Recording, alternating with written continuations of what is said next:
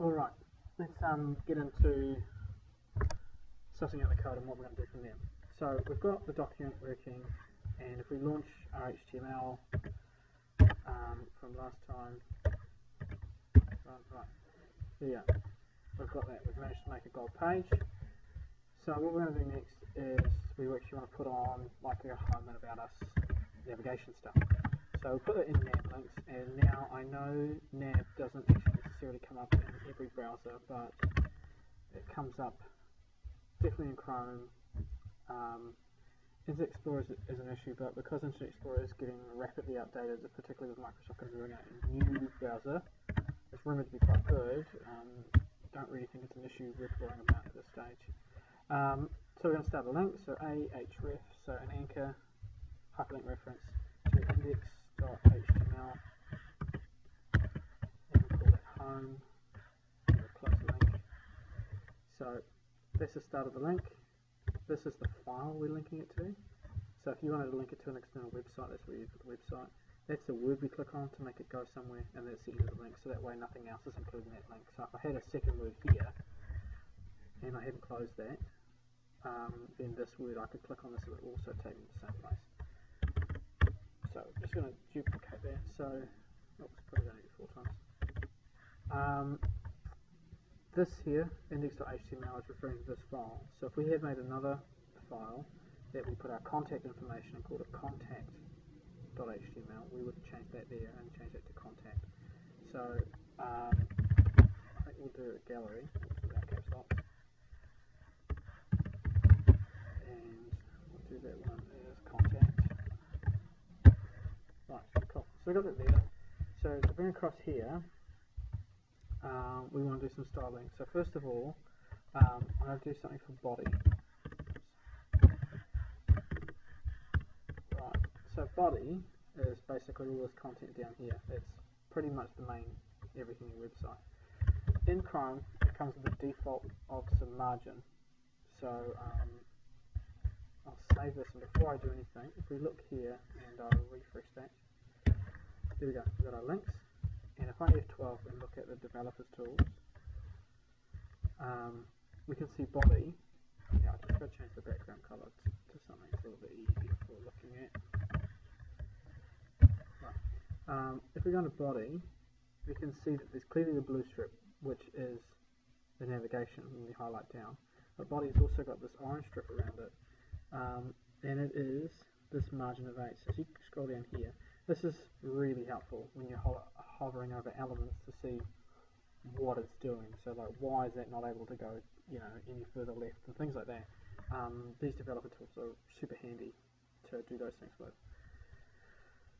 And then if we look up here, this is the code that's associated with it. So we can see margin 8 and display block. So that's the defaults that come in from Chrome that have that. So we're going to get rid of those default, that default of um, margin 8. And so if we go margin there, and just put 0 px, that'll stop that because if we wanted our navigation bar to go all the way to the edge of the screen, it can't, can't well, couldn't, can't, um, until I've done this change. So, we want our text to sit all centered. So we look here, they're in a line, they're nice and pretty, but they're, we probably want them over here, as most navigation is. So if I go nav and I go text align center, what we're doing is we're taking this whole group of nav and we're saying all the text within it we want it to align with the center. If I had said nav A, which is saying in the navigation I want the A links to text align center, what you'll probably find is that they all sit center on top of each other because they're all going to the same center rather than the group setting the whole group to center. So let's save that and refresh. There you go, we've got that center. Um, and we probably want to get rid of these underlines as well because that comes as default with the links. So if we go in here and I do CSS and I go um,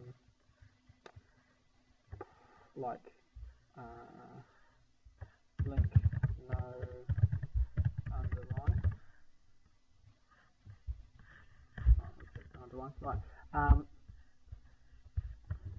you'll get a few sites that'll pop up straight away. W3 Schools is pretty good, it's pretty simplistic with information. Stack Overflow is pretty good as well. A very good one, but it can be a bit technical at times, particularly for if you're pretty new to this. Um, see if there's any other ones down here that are good ones. Um, the other two ones that tend to be quite good are CSS Tricks and uh, Mozilla Developer. But we'll go here and we'll have a look through. So we've got styling links. This is to do with color. This is to do with visiting. And it says here text decoration none. You can normally go try it yourself here if you actually want to see what it is because you're not intrinsically going to know, oh, that's what gets rid of that. That line here is going to get rid of the underline. Um, but it does. So what I'm trying to show you is that you can Google search pretty much anything, but chuck CSS in front of it if you want to find it for that particular coding language. Um, right, so if we go back and refresh, save, there you go, link's gone. Um, we may want our navigation to be further apart, not have them all crammed together. So um, if we go display, new display type to make changes to how it's laid out, display align align block, and then I can say. You can specify a number, like a, a, fixed number and it will always stay that way or you can do it by percentage so as the screen gets bigger and smaller it will shrink.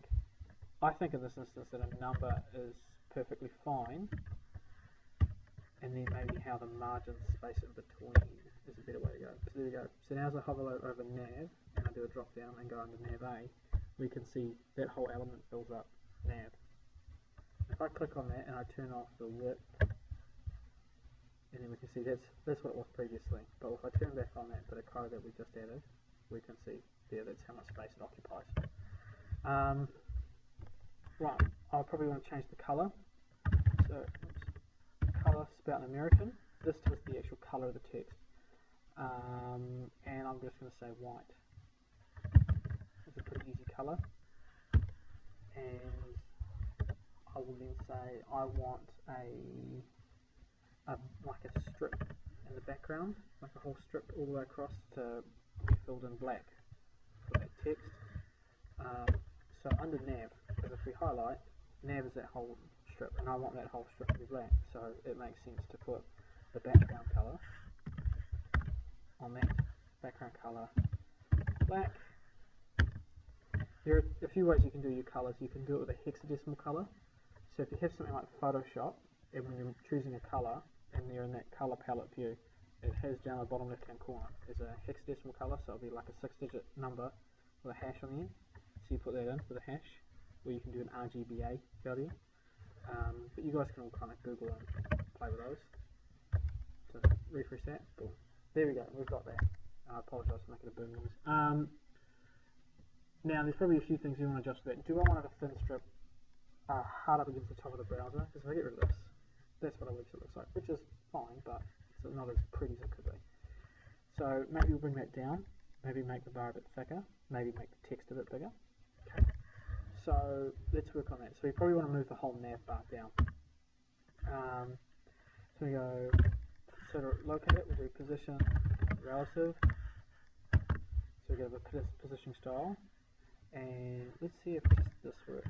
Top, and we'll push it down by something crazy like 40 pixels. Did I save it? I did. Okay, on, save. There we go. And just refresh. There you go. So it's pushed it down top. Um, and if we want to make this wider, rather than setting like a height for it, we can. Um, we can also add padding. Padding's like spacing, but when you have a background color, it actually shows up. So we could do padding dash top, padding dash bottom, or you can just do straight padding which adds space everywhere, or you can do padding with two values. So the first value is the top bottom. So if I say I want the top bottom to have uh, 15 pixels, and the second value to have none because I want it to stay just like that, that will then give me that result. So we go. We can start. We can see that we're starting to make progress, and things are starting to look a little bit nicer.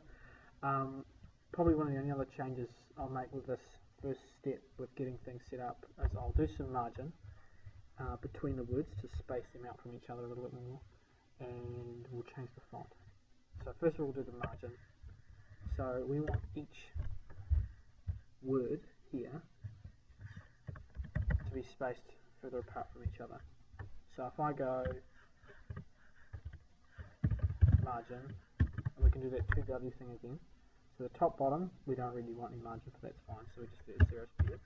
And then for the left and the right, um, we want that to be, I don't know, we'll try something like 3%, because then it will scale as we go.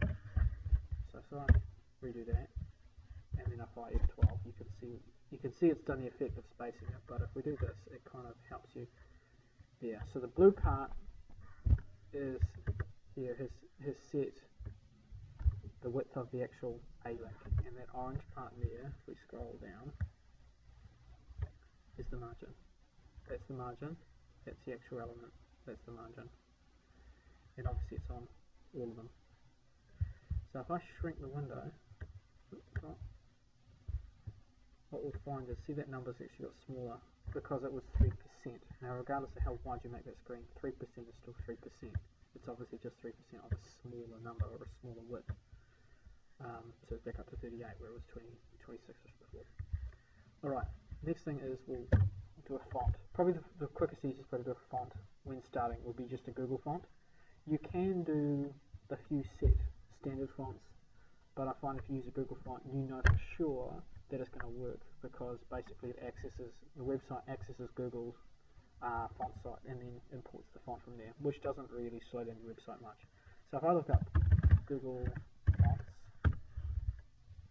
Google font site, and then you get a whole raft of different fonts um, that will pop up shortly. There we go. Um, and what we want to do is scroll down and, until we find something nice. And I know if I scroll for a little bit, I'll find something. There we go. This one here, which is it's nice, but it's also quite different to a standard font. And so we want to go from that. So we've got this thing here, it's called quick use. This is what I use.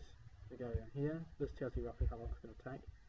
So 15 is not not much in terms of your load time for the speed um, it's going to affect for loading your website onto someone else's computer. Um, so we got add import. Because standard is when you put in your HTML. We've got an external style sheet, so we would put it in there. So we use the add import. So we go this line here, Control C, go back here. I always chuck up on the first line um, any fonts that we do. Reason being, scroll back.